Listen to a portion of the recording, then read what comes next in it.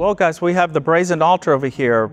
This wonderful place, this was the place of sacrifice, the place of death. But look where it's placed, right in front of the entrance of the gate, where all these beautiful colors that we have here, Rabbi Jeff. This brazen altar uniquely was the place that was lifted high. The Israelites would place their sacrifices upon here.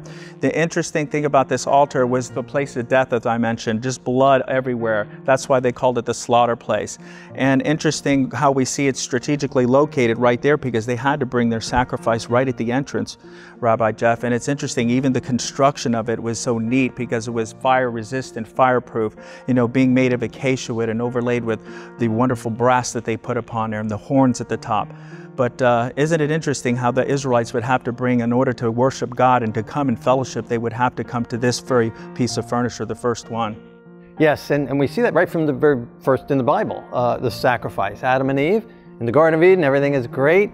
Uh, but then when they chose to disobey God, sin, uh, God said, if you sin, if you eat from that tree, you will die.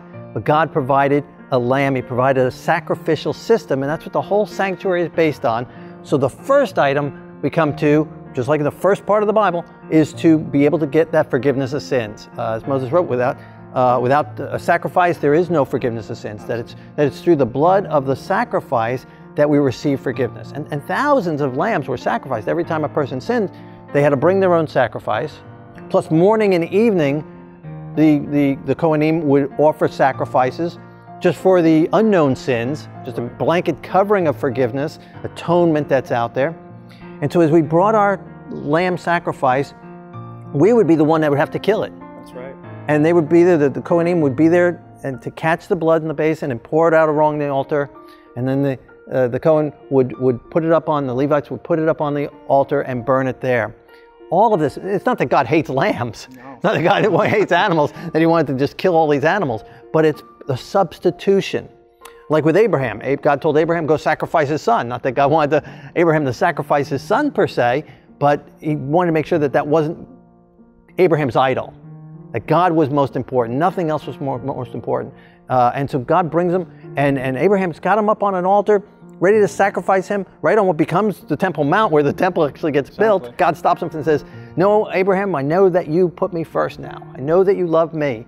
I know. And so Abraham looks up and he sees the ram caught in uh, the thick with his horns. And then he offers him as the sacrifice, this substitution. That's right. And that's what these lambs represented, the substitution. And it all pointed to the Messiah that would come for us, that God would send. And that's what Abraham said to his son. As they're going on this three day journey, Abraham says, We got the fire, we got the wood, we got a knife. Where's the sacrifice? It took him three days to figure that out. Where's the sacrifice? And Abraham said, God will provide himself sure did. the sacrifice. And that's the Messiah. The Messiah came as the sacrifice so that we can receive forgiveness, that our punishment was placed upon him. Absolutely. We were not to approach with the Ten Commandments, but only through the sacrifices that were administered. That's right. That's the first part. That's, That's right. first place. You enter in there. You couldn't be pardoned from your sins and blessed by the priest until you came to the altar of sacrifice with the sacrifice. And boy, you could, you could see so much of that there were shadows of things to come. And that's why this is a wonderful temporary visible picture to show us how we're to approach God. God said there was one way, but the first way we come through is through the brazen altar, the altar burnt offering. That's why they called it the altar, the door of the tabernacle.